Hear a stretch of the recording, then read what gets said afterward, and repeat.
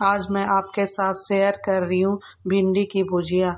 मैं आपको बताऊँगी बिना प्याज और लहसुन के साथ यह बहुत टेस्टी बनकर तैयार होती है और बहुत आसान तरीके से यहाँ पर मैंने इसे आज बनाया है। Hi everyone Prerna delicious food में आपका स्वागत है। तो चलिए हम रेसिपी शुरू करते हैं।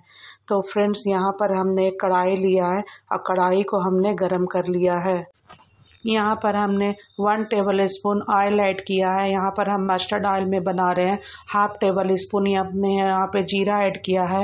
हाफ़ टेबल स्पून हमने हींग डाला है और बारीक कटी हुई हरी मिर्च एक डाला है और सभी चीज़ों को अच्छी तरह हम यहाँ पे सौते कर लेंगे।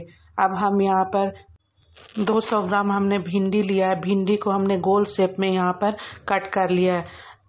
अभी से मिक्स कर लेंगे और एक मिनट तक हाई फ्लेम पर इसे भून लेंगे। एक मिनट तक भून लिया है। अब इसमें ऐड करेंगे नमक और हल्दी।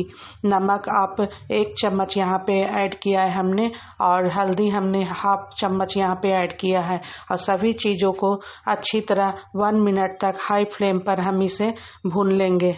अब गैस का फ्लेम हम लो कर देंगे और फाइव से सिक्स मिनट तक भिंडी को हम पकने देंगे ताकि हमारी भिंडी अच्छी तरह पक जाए। फ्रेंड भिंडी हमारी बनकर तैयार है तो हम गैस का फ्लेम ऑफ़ कर देंगे और आप इसे गर्मा गर्म परोस सकते हैं, पराठे, रोटी, दाल, चावल, किसी के साथ आप खा सकते हैं। खाने में बहुत ही टेस्टी लगती है। और यह रेसिपी बहुत ही आसान, झटपट बनकर तैयार हो जाती है। आप इसे लंच बॉक्स में बच्चों को भी दे सकते हैं। तो इस रेसिपी को आप ट्राई करके देखिए। अगर आपको अच्छी लगी तो लाइक शेयर एंड चैनल को सब्सक्राइब कर दीजिए और बेल आइकन दबा दीजिए, जिससे कि आप लेटेस्ट वीडियो का अपडेट आपको मिल सके। Thanks for watching